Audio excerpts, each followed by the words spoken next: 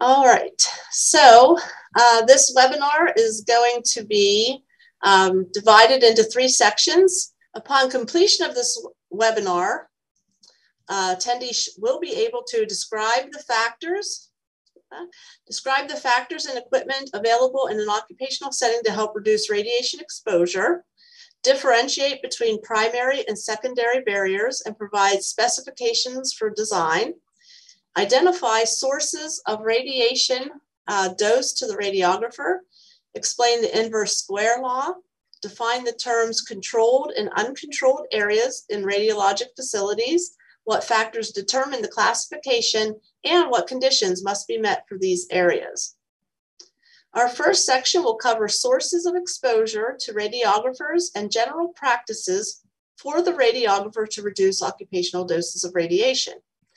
In the beginning of this module, you will mainly, we will mainly explain the fundamental principles of protection and define what scatter and leakage radiations are and how to reduce their effect on occupational dose. We will review protective barriers in the equipment and in, and in construction of the work area as it relates to occupational safety. There are five, I'm sorry, there are three guiding principles in radiation protection time, distance, and shielding. These are derived from the principle of ALARA. ALARA stands for as low as reasonably achievable. Exposure to radiation is an occupational hazard. We know that based on stochastic effects, there is no safe dose. And we know that for most radiographers, it is impossible to eliminate all exposure to radiation. The best that we can do is minimize the amount of radiation we are exposed to on a daily basis. Time is important. For most examinations, the radiographer is not in the room while the x-ray production is activated. However, exams like OR procedures, fluoroscopy, excuse me, fluoroscopy procedures, and some mobile imaging, they do require that the technologist be in the room during the radiographic study. When possible, the radiographer should decrease the time they are in the room. Time is directly proportional to dose. This means that if the time one spends in the room during active production of radiation, the dose that has been received is double. Likely, or sorry, likewise, if the time is cut in half, the dose is cut in half. Another consideration is repeat images on patients. if a patient has an exam consisting of two images and both images need to be repeated, the patient dose is doubled, but so does the amount of scatter received by the technologist. We'll talk more about scatter radiation in a little bit, but for now, it is the largest contributor to the occupational radiation exposure. The dose of radiation is indirectly proportional to the square of the distance. This means if the distance is doubled from the source of radiation, the dose will be cut by four times or cut to one fourth of the original dose. You may recall this is also this is also true for receptor exposure and beam intensity. This is also true of the scatter radiation received by the technologist. Distance is the most effective method to reduce radiation dose. Let's refer back to time. With time, if the time in the room is cut by a factor of two, the radiation exposure is cut by a factor of two because they are directly proportional. If the distance is increased by a factor of two, the radiation exposure is cut by a factor of four meaning that the reduction in dose is twice that of the reduction, reduction with time. As a review, here is the inverse square law formula. Intensity is the same as exposure, which determines radiation absorbed dose, which is given in milligray. We can substitute milligray into this formula by replacing the intensity. The formula reads intensity one over intensity two is equal to distance two squared over distance one squared. And I'm sure you all remember that. It was uh, drummed into our heads in radiography school. Let's plug in some numbers here. So if the radiation dose during a fluoroscopic exam is two milligray, if the technologist stands two feet from the patient, what is the dose if the technologist moves to a spot six feet from the patient? We set the formula up and calculate the squares of the distances given and plug, uh, plug in the information that we have.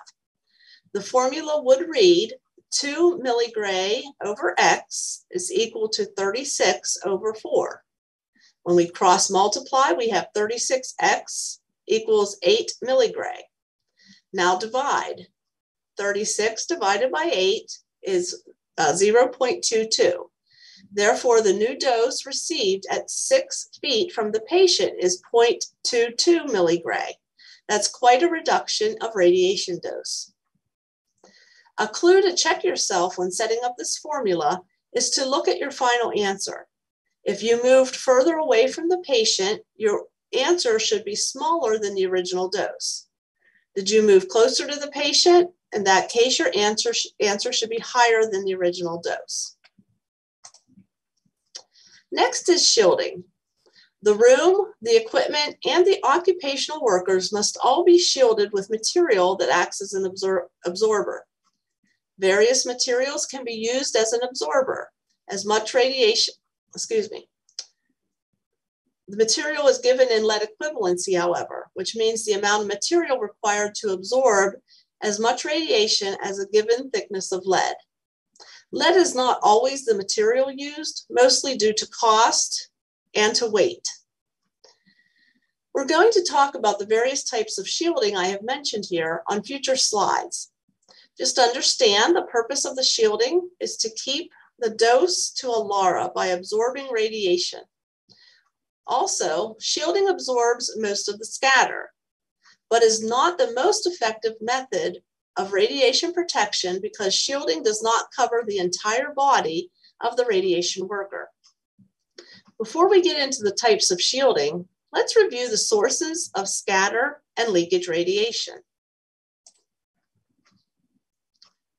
There are two types of scatter there are two types of scatter radiation when the X-ray photons interact with objects or material, and that includes our patient, coherent and Compton. Compton scatter is the largest source of exposure to the diagnostic radiographer. The largest source of scatter radiation is the patient. Other sources of scatter radiation include the X-ray table, upright stand, and any walls from which scatter can ricochet. Photons that have scattered 90 degrees and one meter or three feet from the scattering object are only about one one thousandth as intense as the primary beam.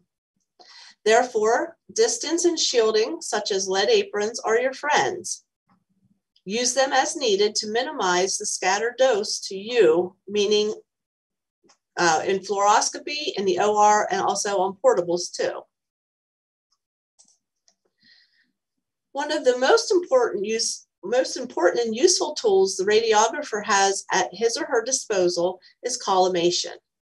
This webinar is about occupational safety, but this is true for patient safety as well.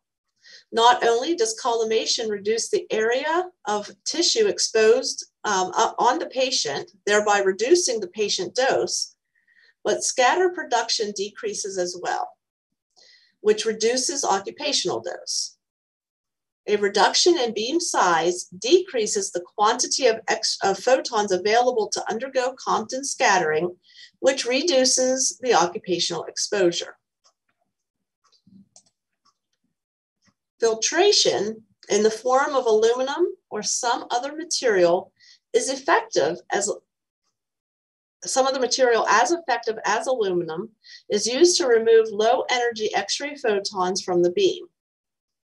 Although intended primarily to reduce patient skin dose, the removal of low energy X-ray photons from the primary beam also reduces the amount of scatter production that can take place. Since scatter radiation contributes to occupational dose, the use of filtration therefore reduces the occupational dose. So we just discussed scatter radiation. Scatter is a form of secondary radiation. Another type of secondary radiation is leakage radiation or off focus radiation. When x rays are produced, the majority of the x rays are directed through the window and towards the patient. Leakage radiation is radiation that is leaving the x ray tube in a direction other than the intended direction through the window. The X-ray tube housing should be able to limit the amount of leakage radiation from which the technologist can be exposed. Regulations in the United States stipulate that leakage radiation must not exceed one milligray per hour at a distance of one meter from the source when operating at the maximum potential and current. Lead aprons must be worn when the radiographer cannot stand behind a lead barrier. Lead aprons should have a minimum lead content, lead equivalent content um, of about 0.5 millimeters. Lead gloves, 0.25 millimeters of lead equivalent, are worn if the hands may be placed in the fluoroscopic beam and require the same equivalent lead content. Also available are lead thyroid shields and glasses. Those who work in areas uh, where extensive fluoroscopy um, is a concern can use a thyroid shield consisting of 0.5 millimeters of lead shielding. Also available are lead glass eyewear, which provide 0.35 millimeters of lead equivalent protection. Table-side fluoroscopy can prove hazardous if the Bucky slot, um, Bucky slot cover is not available. The Bucky slot cover should be 0.25 millimeters of lead equivalent at a minimum. The Bucky slot cover presents scatter radiation from exposing the fluoroscopist's gonadal area. The fluoro carriage is also equipped with a drape, which is 0.25 millimeters of lead equivalent. This drape will block scatter from the patient and protect the fluoroscopist and others that are in the room, including the radiographer. There is a device which can be worn at the waist or neck outside of the apron, which assists uh, the user to minimize exposure. This is not a protective device as it does not shield. Its effectiveness depends on the user, and that is your fluoroscopy monitor. We'll talk more about that, type, those types of things a little later. In the medical setting, it's easy for protective apparel to get dirty.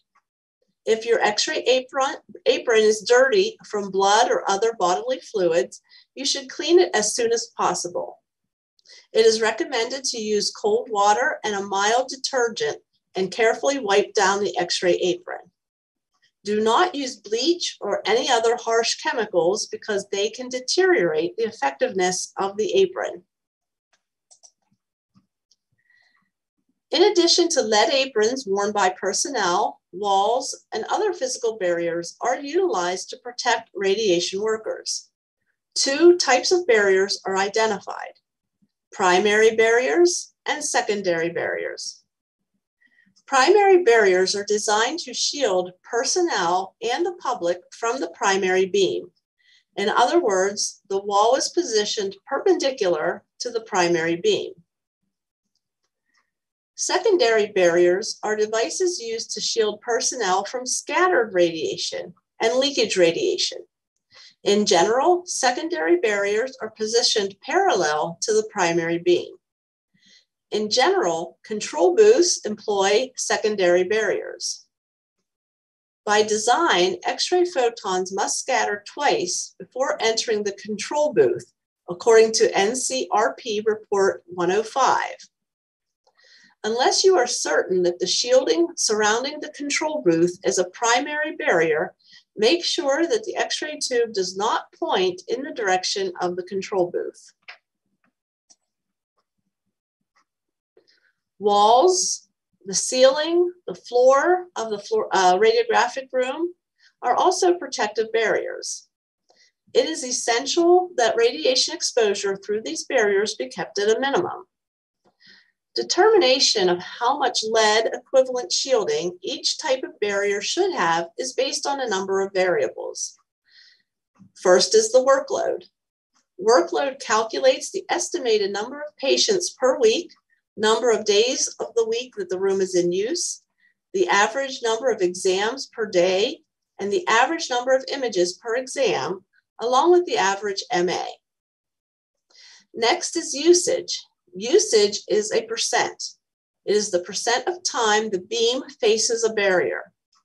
For example, consider a room with an upright bucky or a wall or the wall that the beam is directed at when performing to cubes. Next is occupancy factor. Who's on the other side of the barrier? If the radiographic room is on the lowest level, is there anything, I'm sorry, if the radiographic room is on the lowest level, it's not on the lowest level, is there anything on the floor below? Last is distance. Does the tube have the potential to be moved within three feet of that barrier? The final determination of barrier thickness is based on whether the barrier is used in a controlled area or non-controlled area. A controlled area is a space occupied by personnel. This would include uh, this would include which the X-ray control booth. Regulations require that the exposure or dose rate to that area not exceed one millisievert per week or 50 millisievert per year. You may notice that this is the maximum allowable whole body occupational dose.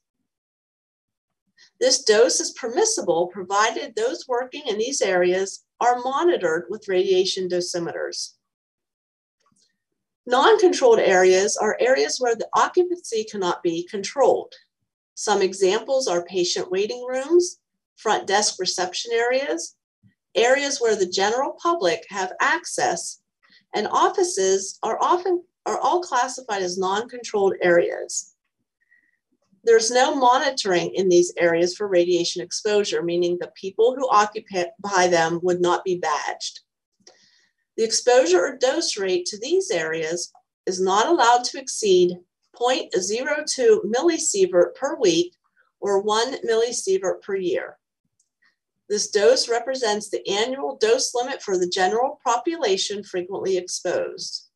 Again, these areas are not monitored for radiation exposure, physic physicists will do testing on a routine basis to make sure that the exposure rates are kept uh, to a minimum. There are times when a radiographer cannot be outside of the room during x-ray production. We talked about a few examples like fluoroscopy, portables, or mobile imaging, or imaging in the OR. During portable imaging, even if the radiographer can stand outside the patient's room, the walls likely do not meet the barrier specifications. For these reasons, distance and shielding, such as lead aprons, are your friend. Use them as needed to minimize scatter dose to yourself and to those around you. During fluoroscopy, if there's not a reason to be standing close to the patient, stand as far back as possible and minimize the amount of time near the patient. Wear lead aprons, thyroid shields, lead goggles, and other protective equipment during fluoroscopy, and make sure to use lead gloves if your hands are going to be in or near the primary beam such as if you're trying to help turn the patient or if you need to hold the patient on their side. For mobile imaging, and this includes the C-arm, use the controls that allow you to stand back as much as possible. These controls must be on a cord that is at least six feet long, but preferably 12 feet. Of course, we must still be able to observe our patients. So I'm going to show you um, on the diagram here, if you watch here, um, you can see as we increase our distance, we obviously are exposed to less radiation. And we can see the further we are away from the uh, radiation source, the lower the radiation dose.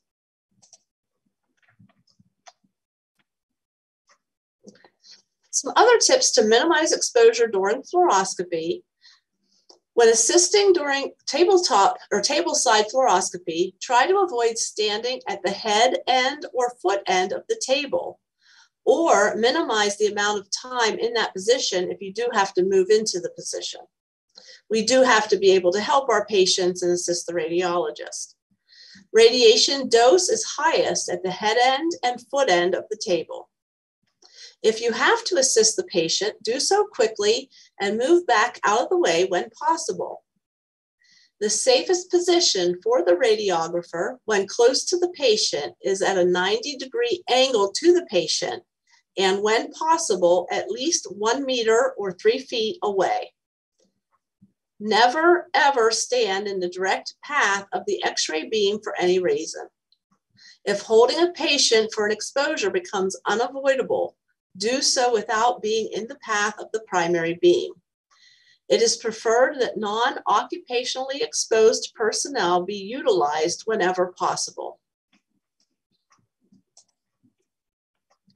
In a fixed fluoroscopy room that is not a C arm configuration, the, the x ray tube is inside the table in a fixed position with equipment that is a C-arm configuration, including the mobile C-arm devices, where the tube is not in a fixed position, it is always best to have the tube under the table or under the patient and the image intensifier over the table.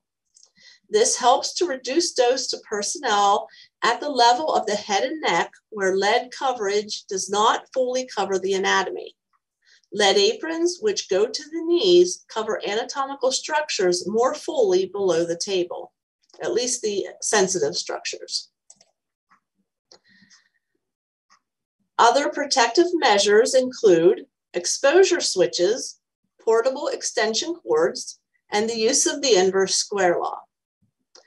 Exposure switches, whether portable or stationary, uh, whether portable or stationary, uh, all equipment used or utilize are the dead man type the dead man type switches. On stationary units, the switch will be located in such a way that the operator cannot peer out from behind the barrier during an exposure.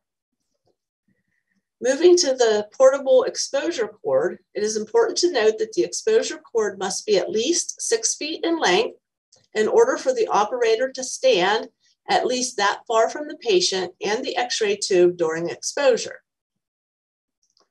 After shielding and distance considerations have been taken into account, it may be better to stand 90 degrees from the patient in order to re uh, reduce occupational dose. Pregnant personnel can continue to work, but are urged to inform their employer receive safety counseling, and wear a, second dosimeter at the waist under the lead apron when it is worn in order to monitor the dose to the fetus. Reporting a pregnancy is not mandatory. However, employers are not required to make accommodations if it's not reported. Employees may also rescind their declaration of pregnancy at any time. The second dosimeter, as I mentioned, is typically issued for the fetus. It is to be worn at the waist level under an apron when it's worn. This dosimeter would be used in a case where pregnancy, this, I'm sorry, this dosimeter would not be used in a case where pregnancy is not declared. Recommendations are that the monthly dose to the fetus does not exceed 0.05 rem in a month or 0.5 millisievert in a month. Some employers have rules that prevent pregnant individuals from working in certain areas. At times, pregnant workers will declare a pregnancy in the early part of pregnancy when the fetus is more sensitive to exposure to radiation, then rescind the declaration later in the pregnancy so that they can return to their normal uh, work rotations.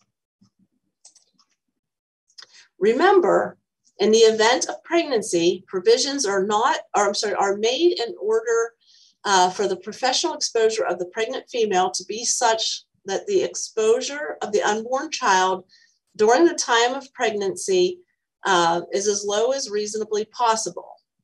All proclaimed pregnant personnel shall wear an additional dosimeter at waist level.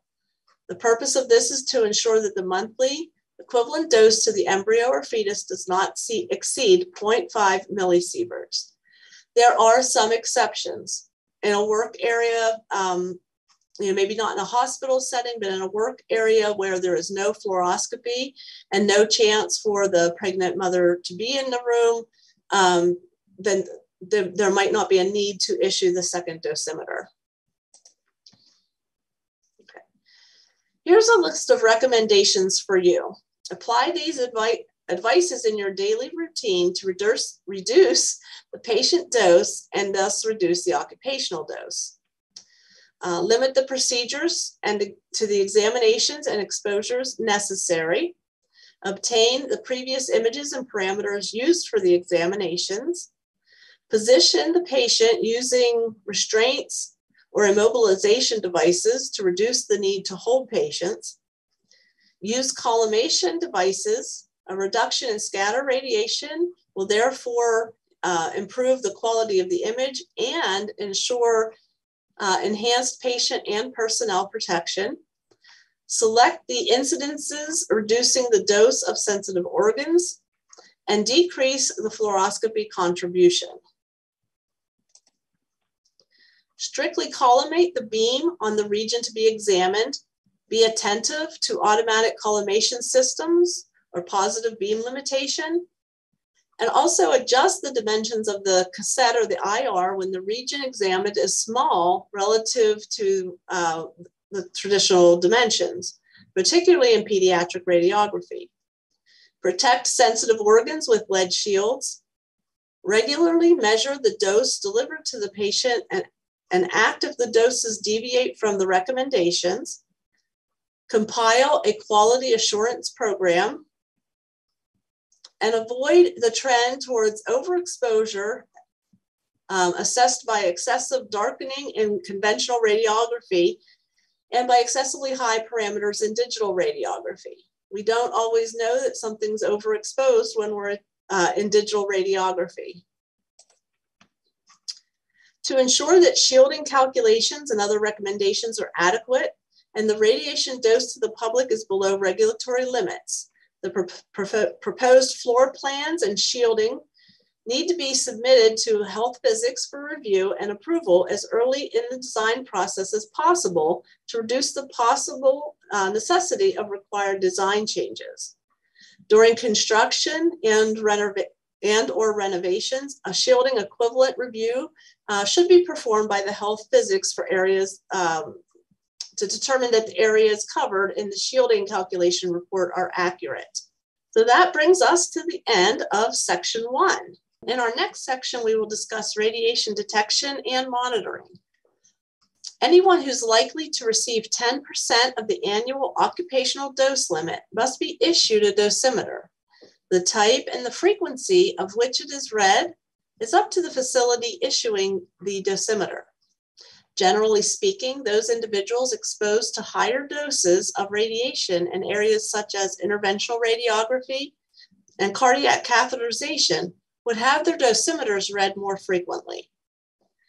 General diagnostic technologists might have theirs read once a year. Let's look at the structure, sensitivity, advantages, and disadvantages of each type listed here. Film badges deserve an honorable mention. After all, this is the original type of dosimeter. The film badge had a piece of film inside, along with filters made of various types of metals, such as copper, aluminum, and tin.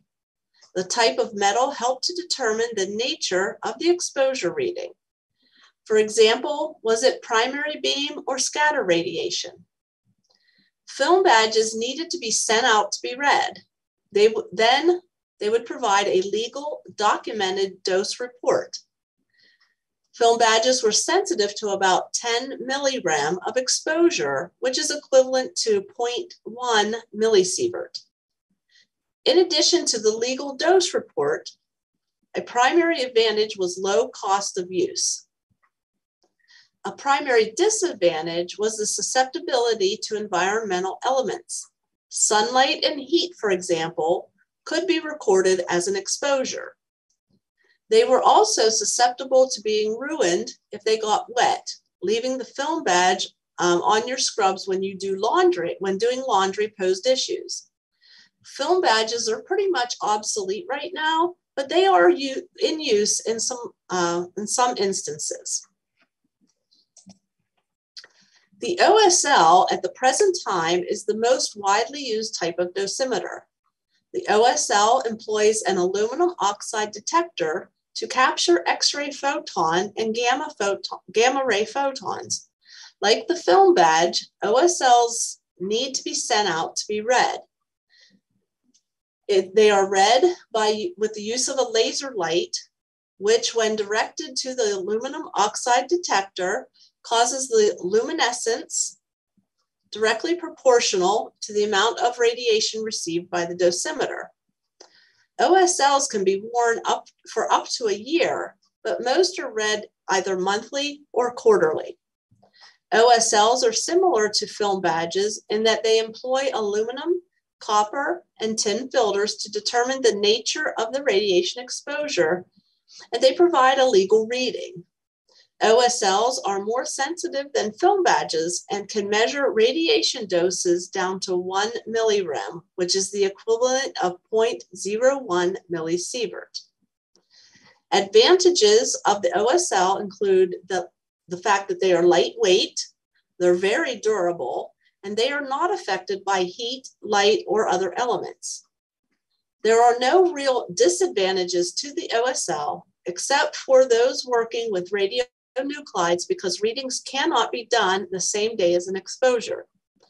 Depending on the vendor, these dosimeters can be expensive, which is why many companies do the quarterly or yearly monitoring when using OSLs.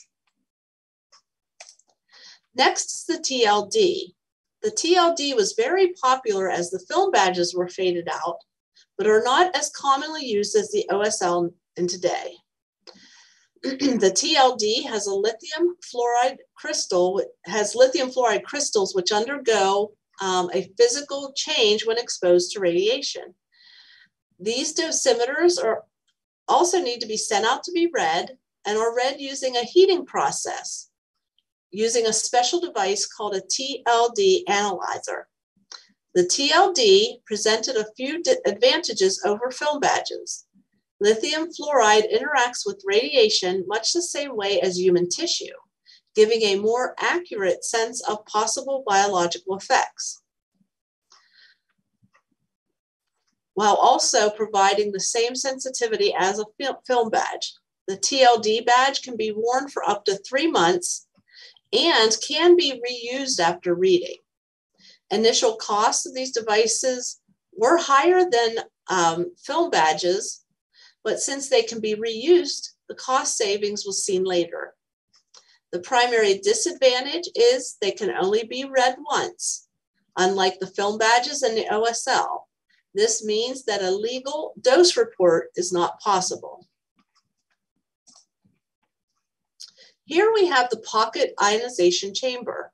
These devices are not useful in diagnostic radiography, but are very beneficial when working with radionuclides. The PIC fits in a shirt or lab coat pocket, much like a pen, and measures the ionizations in air within the chamber.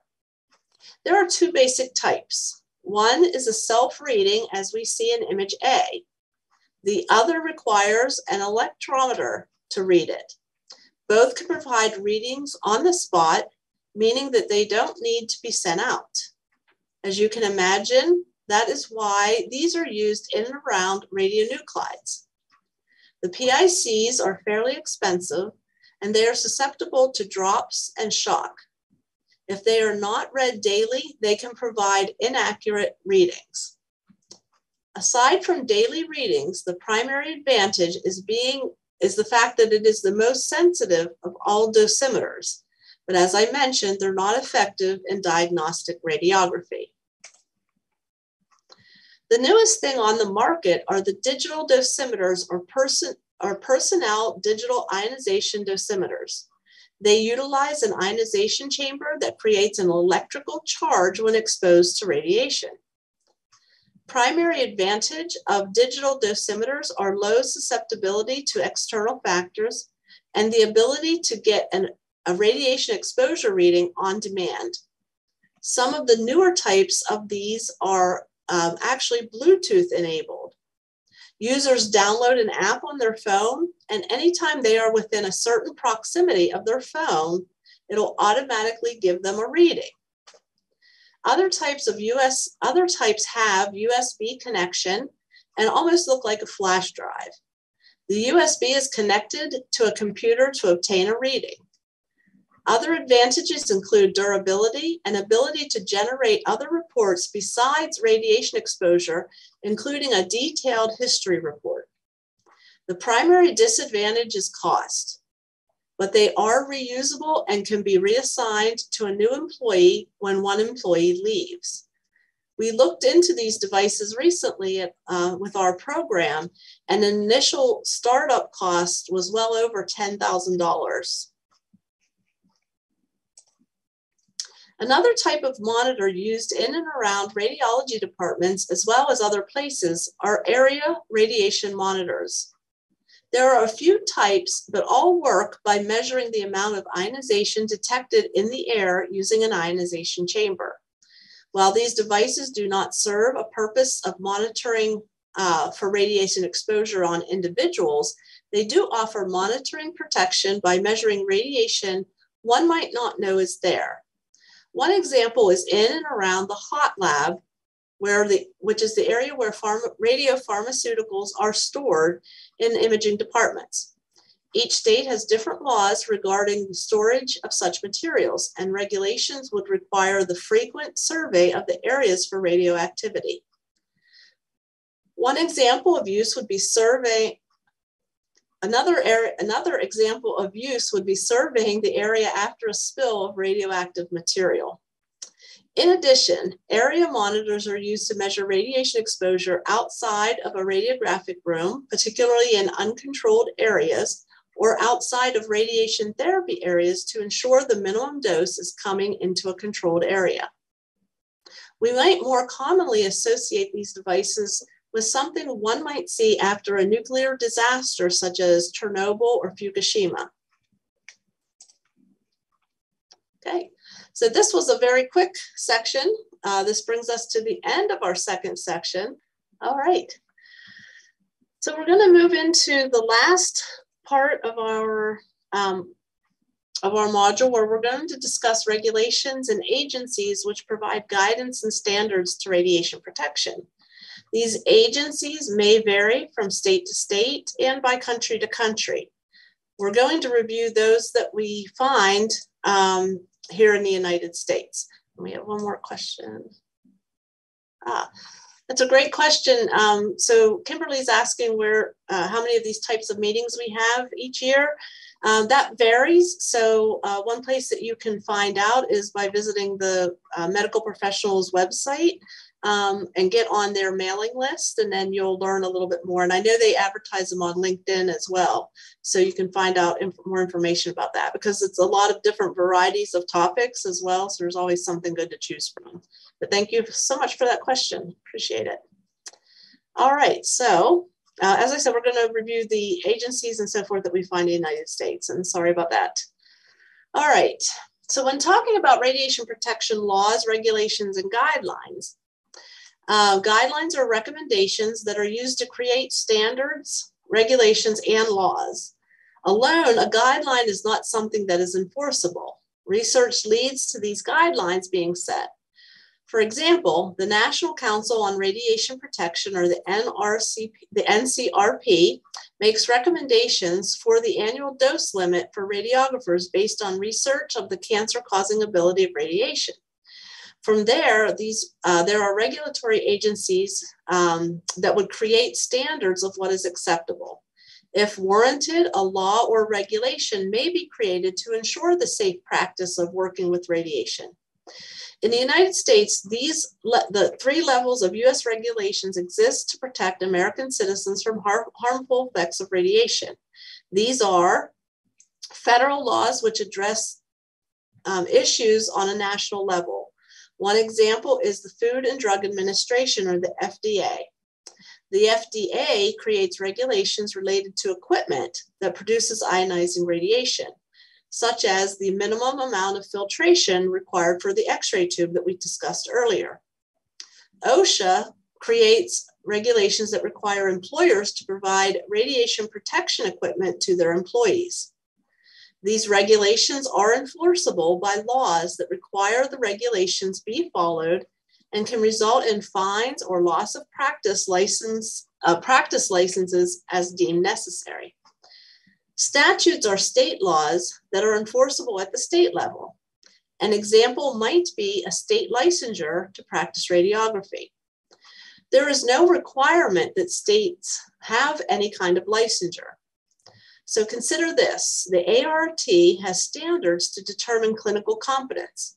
However, the ARRT is not a regulatory agency, and absent a federal law or a state law requiring that someone be credentialed through the ARRT, a state law, a state that, is, that does not have licensure allows for anyone to take x-rays. State licensure provides this, that statute which is enforceable at the state level in order to protect patient safety, in order to protect patient safety and assure only qualified individuals operate radiation producing equipment. The last level of regulation is an ordinance, which applies to regulations at a local level.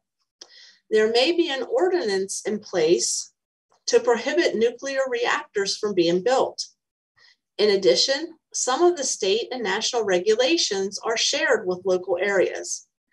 An example of this would be building inspectors who assure that the federal agencies that per, who assure the federal agencies that the protective thicknesses of the barriers in the walls of the radiographic rooms meet the required special specifications. Administrative laws are those laws that govern the formation and operation of administrative agencies and the rulings made by, administ- made by the administrative agencies. They are created by a unit of executive branch of government, either the federal or the state level. All administrative law is run through government agencies. Our government is made up of numerous administrative agencies. Agencies can be federal, state, city, or county entities. Administrative regulations are generally upheld in court when challenged. The Code of Federal Regulations, or CFR, is the codification of the general and permanent rules and regulations called administrative law published in the Federal Register by the executive departments and agencies of the federal government of the United States. In other words, this is a body of federal regulations which have been cataloged into many volumes. The regulations most important to radiation protection are specified on the following slides. Here we have a table that summarizes the most important federal US regulations and relative le relative legislative authority. It should be noted if any attendees are planning to take the ARRT board exam, questions on these laws might be on your exam. One of the first significant laws related to radiation is 10 CFR 20, or the Atomic Energy Act of 1954, which established the Atomic Energy Commission, now known as the NRC. This agency came to be after World War II when, and the atomic bombings in Japan. The main purpose of this agency is to establish regulations to enforce protection from ionizing radiation. The next significant piece of legislation is 21 CFR 1, subchapter, subchapter J, otherwise known as the Radiation Control for Health and Safety Act of 1968. As I mentioned, the FDA creates regulations related to the safety standards of radiation producing equipment. This act created the agency within the FDA and provides them with the authority to regulate and enforce these standards. Next is the Occupational Safety and Health Act of 1970, or 29 CFR 1910.1096, which created OSHA. The primary responsibility of OSHA is workplace safety. Last but and not limited to radiation safety. Last but not least is 42 CFR 1, Part 75, the Consumer Patient Radiation Health and Safety Act of 1981, which establishes standards for educational training of radiographers and other healthcare workers who operate equipment that produces ionizing radiation. You may think, wait a minute, she said there are no federal laws requiring somebody to be certified by ARRT. There are not. This just sets the standards. Other agencies oversee the standards such as ARRT, ASRT, and the JRC ERT. And that is why it is very important to be sure to attend a program that is JRC ERT accredited. This means the program meets the minimum standards and follows the ASRT curriculum. We saw on the first three slide, for, on the first three, um, on the previous slide, in addition, some are, um, that are more recent as far as activity goes includes the Mammography Quality Standards Act of 1992, signed into law by Bill Clinton. MQSA charges the Department of Health and Human Services with establishing and maintaining a comprehensive program to review and certification of mammography imaging centers, equipment, and personnel, physicians, health physicists, and technologists. The American Society of Radiologic Technologists, along with its state affiliates, is nearing its 17th year lobbying to change the law to require mandatory licensing standards for all 50 states. This is called the CARE Act. You may have heard about it. Pennsylvania, where I reside, is one of only about seven states that do not require licensure, though there are some other requirements in place. Licensure ensures that individuals are deemed competent by the ARRT, which means they have met strict educational and clinical requirements and passed a national registry board exam. The Joint Commission on Healthcare does, does require individuals working in a Joint Commission accredited hospital to be credentialed. However, doctors' offices, urgent care centers, and hospitals not accredited can hire individuals who are not competent and have not completed the, the appropriate education and met the appropriate um, proof of competency. That's in Pennsylvania or any other licensure state. Almost all states do require that anyone working in radiography be ARRT credentialed. One exception that I'm aware of is Alabama the state of Alabama, there is no educational requirement to work in radiography. They do have schools. They do, you know, have JRC approved schools. They have technologists who are ARRT credentialed, but you don't have to be. Some states go further than uh, the ARRT and require additional education and or testing to operate radiographic equipment, such as California and Alaska. Please note that today, each state has its own individual laws and regulations and establishes individual acts. Non-governmental organizations also play a role in radiation protection. Some of these include the National Council on Radiation Protection and Measurement, or the NCRP. The NCRP was established in 1931 and chartered in 1964. It recommends to Congress and the states specific dose measurement limits. The National Research Council, administered by the National Academy of Science, the National Academy of Engineers, and the Institute of Medicine, produced the BEIR, the BEIR reports. The latest report was BEIR 5, Health Effects of Exposure to Low Levels of Ionizing Radiation. And the International Commission of Radiolog Radiologic Protection, or the ICRP, started in 1928 and functions similarly to the NCRP. It promotes cooperation in research, data collection, and effective use of combined resources. At the institutional level, when radioactive material or radiation producing equipment is used, a radiation safety officer or RSO is required.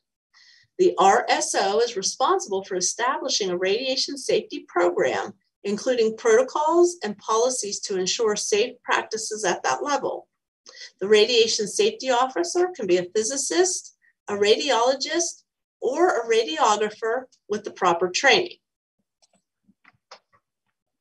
What other organizations are involved in radiation protection in the United States? The United Nations Scientific Committee on the Effects of Atomic Radiation, or UNSCEAR, is a quasi governmental agency established in 1955 by Resolution 913 of the United Nations General Assembly. The UN Scientific Committee reports on issues related to exposure to humans and the environment to ionizing radiation to the General Assembly. It provides scientific basis for radiation protection and evaluation of risks. Say what you will about regulations.